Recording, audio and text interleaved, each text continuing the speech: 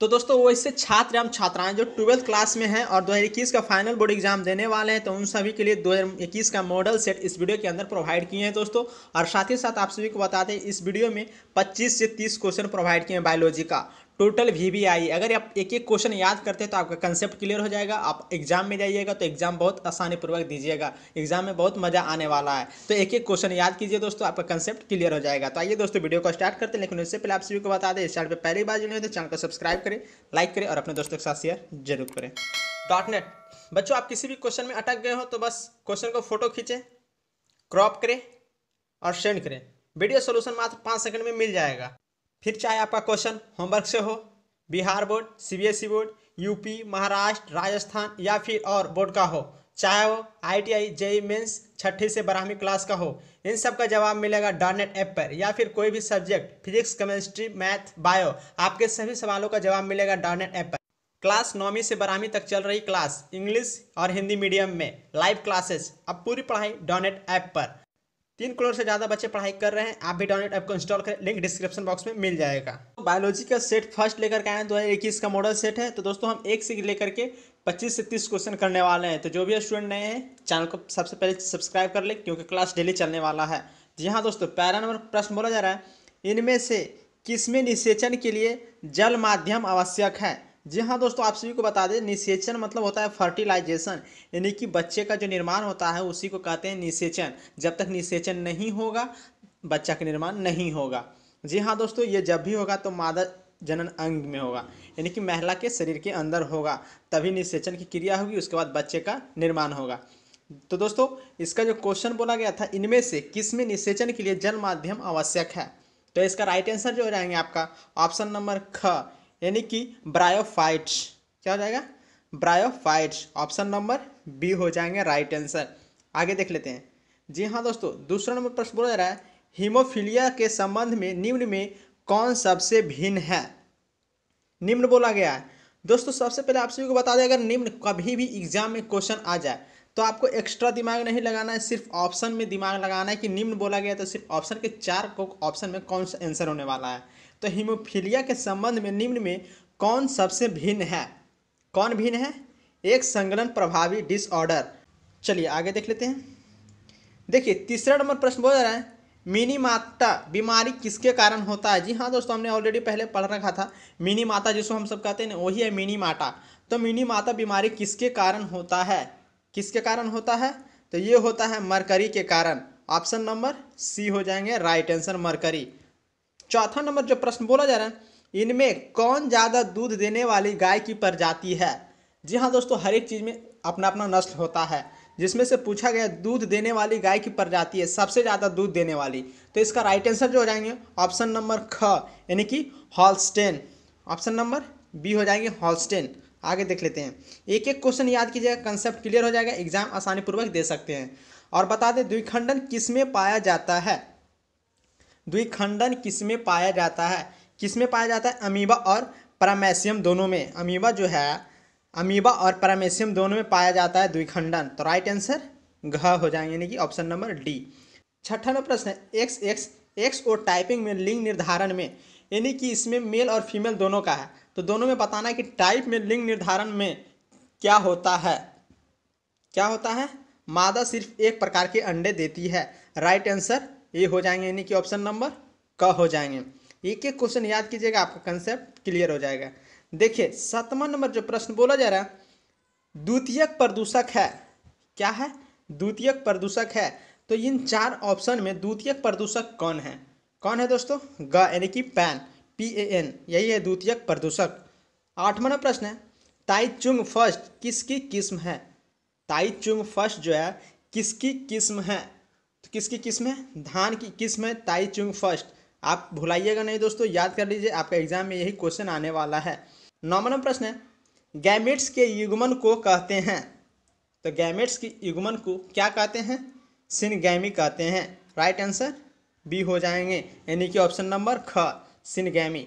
दसवां नंबर प्रश्न इनमें से कौन जीनो टाइप चार अलग प्रकार के गैमेट्स बनाएँगे? तो चार अलग प्रकार के जो गैमेट्स बनाएँगे, कौन होंगे? तो वो होंगे आपका ऑप्शन नंबर ग, यानी कि capital A small A capital B small B और सी सी राइट आंसर ग हो जाएँगे। चलिए आगे देख लेते हैं। ग्यारह नंबर जो प्रश्न बोला जा रहा है परिस्थितिकी तंत्र या इकोसिस्टम शब्द का प्रयोग सर्वप्रथम किसने किया? तो उस वैज्ञानिक का नाम बताना है जो परिस्थितिकी तंत्र और इकोसिस्टम का प्रयोग किया। तो उस वैज्ञानिक का जो नाम है आपका, टेंसले वैज्ञानिक ने। ऑप्शन नंबर ख हो जाएँगे, यानी कि राइट आंसर बी हो जाएँगे टेंसले। देखिए, बारह नंबर जो प्रश्न है, अलैंगिक जनन द्वारा हज़ारों पौधों को उत्तक संवर्धन की कौन सी विधि से बनाया जाता है? यहाँ विधि पूछा गया है तो अलैंगिक जनन में तो कौन सी विधि से बनाया जाता है? वो विधि है आपका सूक्ष्म प्रजनन। राइट आंसर का, यानी कि ऑप्शन नंबर ये हो जाएँगे। तेरह नंबर आपका प्रश्न पूछा जा रहा है, इनमें किसे बंगाल का आतंक कहा गया है? बंगाल का आतंक कहा गया है, यानी कि इसका राइट आंसर जो हो जाएगा आपका जल कुंभी कहा गया है। राइट आंसर ख हो जाएँगे। चौदह नंबर प्रश्न है होलाइड्रिक जिन उपस्थित होते हैं। तो होलाइड्रिक जिन जो उपस्थित होते हैं किसमें होते हैं? तो ये बाई क्रोमोसोम में उपस्थित होते हैं। राइट आंसर ख हो जाएँगे बाई क्रोमोसोम चलिए आगे देख लेते हैं। देखिए, पंद्रह नंबर जो प्रश्न है, अम्ल वर्षा का कारण है। अम्ल वर्षा का कारण क्या है? तो किसके कारण अम्ल वर्षा होता है? एसओ टू एसओ थ्री के कारण अम्ल वर्षा होता है। तो राइट आंसर का हो जाएगा टोटल दो हज़ार इक्कीस का मॉडल सेट है दोस्तों। एक एक क्वेश्चन याद कीजिएगा कंसेप्ट क्लियर हो जाएगा, क्योंकि आप सभी का कंसेप्ट जब क्लियर हो जाएगा तो एग्ज़ाम बहुत मज़ा आने वाला है देने में। सोलह प्रश्न है, कृत्रिम ब्रिया सेपन का उपयोग नहीं किया जा सकता है। जी हाँ दोस्तों, कृत्रिम ब्रिया सेपन जो है, किसमें उपयोग नहीं किया जा सकता? आप सभी को बता दें कि जानवर में अक्सर ये लगता है। डॉक्टर वगैरह, गाय वगैरह को लगाते रहता है बाहरी। जी हाँ दोस्तों तो इसका राइट आंसर जो है किसमें नहीं होता है? तो मछली में नहीं हो सकता है। राइट आंसर ग हो जाएँगे ऑप्शन नंबर सी फ़ीस सत्रह नंबर प्रश्न है, प्लाजोमोडियम की संक्रमण अवस्था है। तो प्लाजोमोडियम की संक्रमण अवस्था कैसी है? कैसी है दोस्तों? अस्पायरोजिट्स कैसी है? अस्पायरोजॉइट्स ऑप्शन नंबर क हो जाएँगे। अठारह प्रश्न है डायबिटीज़ का कारण है। डायबिटीज़ का जो कारण है, किसके कमी के कारण डायबिटीज़ बीमारी होता है? हार्मोन के कमी से डायबिटीज़ की बीमारी होती है, जिस, जिसको हम सब कहते हैं चिनिया रोग। वही इसका नाम है डायबिटीज़। ऑप्शन नंबर डी हो जाएँगे। घ। उन्नीस नंबर प्रश्न है, डेयरी फार्म में उपलब्ध होता है? आप सभी को बता दें, डेयरी फार्म में उपलब्ध होता है। क्या होता है दोस्तों? सभी। दूध, मक्खन, पनीर, तीनों डेयरी फार्म में उपलब्ध होता है। राइट आंसर डी हो जाएँगे। घ। बीस नंबर प्रश्न है टी सेल्स उत्तरदायी है। तो इसका राइट आंसर जो हो जाएगा सेल मीडिएट प्रतिक्रिया हेतु। राइट आंसर ख हो जाएँगे। सेल मीडिएट प्रतिक्रिया हेतु। आगे देख लेते हैं। इक्कीस नंबर प्रश्न है डायबिटीज़ रोग में मूत्र में रहता है। जी हाँ दोस्तों, चीनिया रोग में जो मूत्र होता है, उसमें क्या पाया जाता है? तो उसमें जो पाया जाता है, शर्करा पाया जाता है, जिसको हम सब चीनी कहते हैं। तो राइट आंसर घ हो जाएँगे। देखिए, बाईस नंबर थोड़ा इंपॉर्टेंट क्वेश्चन है दोस्तों। डॉर्विन अपनी यात्रा के दौरान किस द्वीप पर गए थे? किस द्वीप पे गए थे? द्वीप का नाम पर बताना है। तो वह है गैला पैगो द्वीप में। गैला पैंगो द्वीप में गए थे। तो राइट आंसर क हो जाएँगे। आगे देख लेते हैं। देखिए, तेईस नंबर जो प्रश्न है, लगभग कितने वर्ष पूर्व पृथ्वी पर जीवन का प्रथम कोशिका रूप प्रकट हुआ? कोशिकीय रूप प्रकट हुआ। तो लगभग बताना है यानी कि पिछले तो बीता हुआ जो समय है, वो आपका राइट आंसर क्या हो जाएगा? दो हज़ार मिलियन वर्ष पहले प्रकट हुआ था कोशिका का।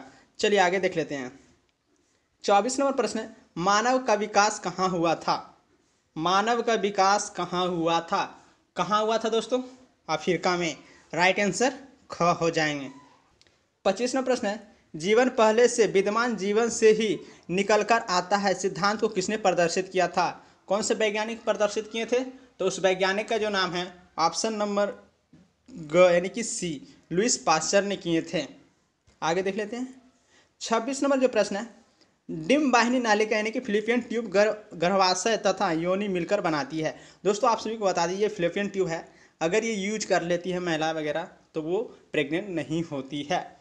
लेकिन निषेचन जो बच्चा बनता है, यहीं पे बनता है फिलिपियन ट्यूब में। तो इसका राइट आंसर क्या होने वाला है? तो इसका राइट आंसर जो है option number C sorry number option number B हो जाएँगे। स्त्री सहायक नालिकाएँ। यहीं पे बच्चा का निर्माण होता है fallopian tube option number B ख। देखिए, सत्ताईस नंबर प्रश्न है। शीशन का अंतिम वर्धित भाग एक ढीली त्वचा से ढका होता है, जिसे क्या कहते हैं? जिसे हम सब क्या कहते हैं? अग्रछद कहते हैं। ऑप्शन नंबर क अग्रछद चलिए आगे देख लेते हैं। अट्ठाईस नंबर प्रश्न है डब्ल्यू एच ओ को पूर्ण रूप क्या है? डब्ल्यू एच ओ इसका राइट आंसर क्या होगा? कमेंट बॉक्स में बता सकते हैं। आप सभी के पास चार गो ऑप्शन है, इसका आंसर क्या होगा? कमेंट बॉक्स में बता सकते हैं। तो दोस्तों वीडियो अच्छा लगा तो चैनल को सब्सक्राइब करिए अगर डेली क्लास करना चाहते हैं तो उसके लिए चैनल को सब्सक्राइब करना होगा।